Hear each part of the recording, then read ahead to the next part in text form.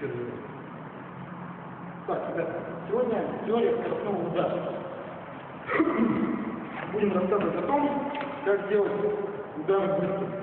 На самом деле, мы берем статиста, сегодня у нас участвует Глеб Лыков, статистирует движение, щит, экономический или даже. Такой. А, Скоростной удар зависит, естественно, не только от скорости руки, но зависит от движения всего тела, естественно, а также правильности, как минимум, удержания мяча. То есть, если мы пережимаем сильно кисть руки, то наш удар будет медленнее, потому что мышцы напряжены. Итак, одно из первых правил. Быстрый удар делается расслабленной рукой.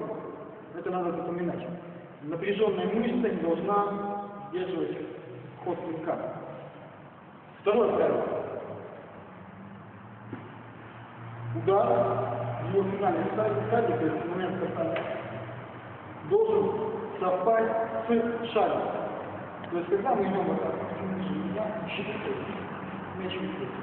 Когда мы идем в атаку, когда противник, движение шаг вперед, атакующее движение. Момент постановки стопы на пол, то есть когда мы совершаем шаг, должен совпасть с конечной точкой удара, то есть непосредственно касанием с клинком противника. Если у противника образуется брешь в обороне, который достаточно видна неплохо, сделав шаг вперед, одновременно с легким выбором, мы сможем в эту узкую щель, которую противник открыл, нанести скоростной удар. То есть, снова игра не простая. Делаем шаг и одновременно попадаем человеку в массу. Защититься от подобного движения, когда а, движение переходит импульсом от ноги в руку и совпадает с шаг, касание, крайне, мы делаем шаг вперед,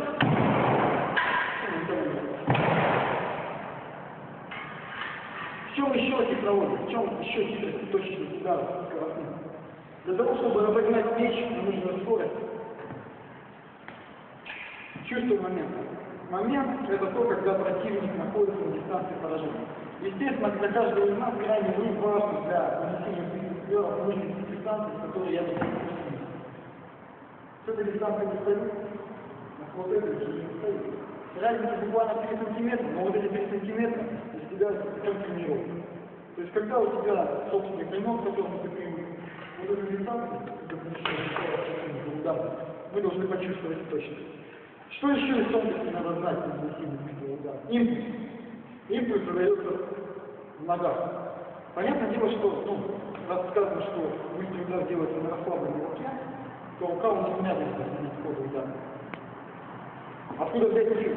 Силу берем из ног. Как только пошел шаг, как только пошел наступательное движение, скручивая тело, откидывая Нельзя забывать о том, что ключевой пояс в этот момент должен сработать как коромысло. То есть если правая рука пошла вперед, то левая рука, специально флажок поднимаем. Это придает дополнительный момент. Что будет, если мы остановим левую руку?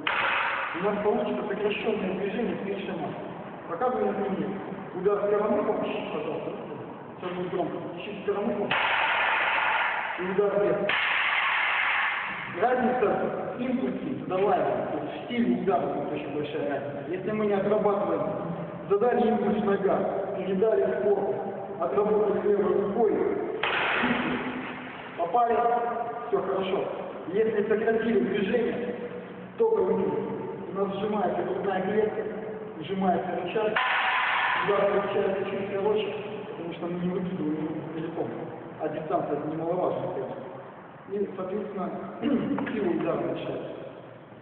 Плавность руки, мягкость руки, что это, как достичь? Отрабатывать это очень просто. Берем арабский теннисный мяч, начинаем кидать в стену. Кидаем до тех пор, пока не начинаем достигать сильного броска расслабленной кисти. Сделали это 300 раз, примерно поняли, как это делать. Удар, выстрел, так называемый, скоростной удар, делается примерно тем же образом. То есть мы берем и кидаем мяч. Опять же, движение ноги должно совпасть с финальной частью удара. То есть как только мы делаем шаг, мы должны попасть. Тем защитить. Напрягись, вниз, не попал. То есть я попал, но не попал. Круто в чем? Встал, открыл щель. себя имеет. Это момент, который нужен для нанесения быстрого удара. Как только человек видит момент, боец должен перевести движение ноги, которое пошел поступательно, в движение руки перед колбой. Поэтому неизвестно, как мы целится. Для простоты отработки, как это достигать на тренировке, берем мишень любую, статическую, динамическую в виде противника, неважно какую. И начинаем бить любой удар, который нам нравится, который мы считаем для себя быстрым. Ну, то есть у меня, допустим, это вот этот любимый скоростной удар. То есть берем любимый удар, любой, хоть горизонт, хоть ребята, и начинаем делать шаг вперед, современный удар. При этом ударяемся правой ногой, вернее, левой ногой, которая у нас впереди, никто не мешает, но левая нога, топать чуть сильнее, чтобы выше. Как только касание щита будет совпадать с вашим плоском ноги, значит вы делаете удар примерно правильно. Встаем, удар, закрываем, встаем, оказывается щель. Щель реально маленькая, вот она здесь, вот она здесь. Здесь две точки можно ударить. Делаем шаг, и попадаем. Смысл почти как в спорящем ударе, но, опять же, тонко. Поскольку большинство именно занимается историческим фехтованием, крайне важно массовая часть удара, то есть завершающая. Было бы крайне тонко взять часть спорящий удар. В чем смысл? Мы финальную часть удара, скоростного, тупого, изменяем немножечко. Когда наш клинок выходит вперед, на расслабленной руке не надо стараться проводить не закончить. Надо чуть-чуть расслабить кисть для того, чтобы клинок ударить по расставу. Разница. Колющий удар, правильный удар. Для чего нужен расстоящий клинок? Как только наш клинок ударит, мы немножко расставать, то есть рука у нас уходит вперед, а клинок остается. На завершающей стадии, подстегиванием кисти, мы будем вытягивать клинок вперед, переводя движение в.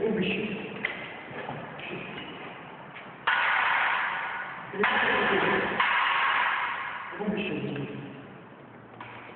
Клинок чуть-чуть отстает и завершает подстегивание. Рисуется знак вопроса движения. Здравствуйте. За счет этого будет достигаться скорость при рубящем ударе. Если вы не будете делать вот этот подступ, ваше движение будет колющее. Колющее движение естественно запрещено. Правильно. Ну, поэтому надо очень... Итак, подводим итог. Шаг. Финальная часть шага должна совпасть с финальной точкой удара. Движение не должно быть колющим. Движение должно быть Быстрый удар делается всегда на расслабленном бицепсе и трицепсе.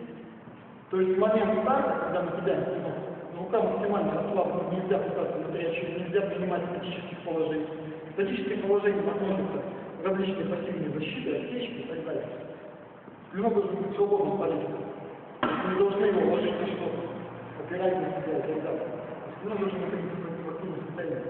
И, увидев момент, изучив момент для атаки, движение вперед, в атакующее одновременное движение. Собственно, это ну, базовая основа скоростного удара, быстрого удара.